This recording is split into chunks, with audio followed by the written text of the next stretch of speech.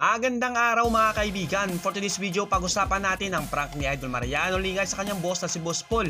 Makikita po natin dito mga kaibigan kung gaano ba ka-importante si Idol Mariano Lingay sa kanyang boss. Bago po ang lahat mga kaibigan, kung bago ka pa lang sa aking channel, huwag mo pong kalimutan mag-subscribe at pindutin mo na rin ang kampana para updated po kayo sa nagaganap. Umpisa na natin mga kaibigan pagkatapos ng intro.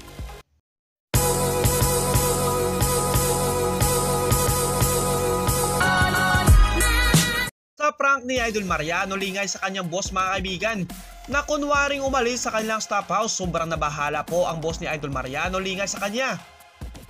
Makikita po natin mga kaibigan sa video na hindi mapakali ang boss ni Idol Mariano Lingay dahil sa paghahanap sa kanya.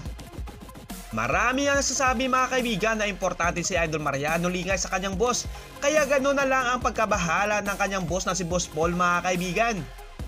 Sa sobrang pagkabahala ng boss ni Idol Mariano Lingay mga kaibigan na paupo po ito sa gitna ng kalsada.